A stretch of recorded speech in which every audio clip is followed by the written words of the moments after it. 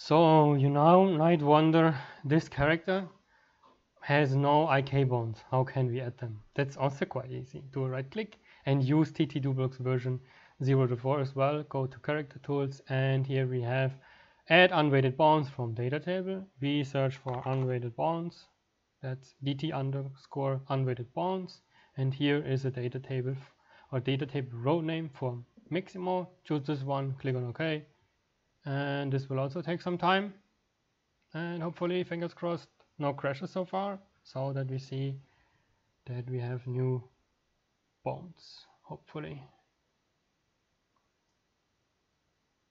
Yeah, this takes some time as it has to process all LODs and rework them and so on and also constrain the bones And if we open it again, magically, if we um, uncollapse the hips bone, you'll see IK foot bone, uh, IK foot root, IK foot left, IK foot right. I'm using the same name like the epic skeleton here to, yeah, to save some work later. But we will not rename those bones. We could also rename them, but then you will have some trouble with um, getting Mixamo animations working.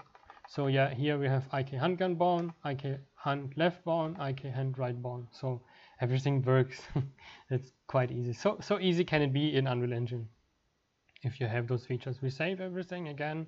So here as you see it modified the mesh and the skeleton. We save everything and we go on to the next session.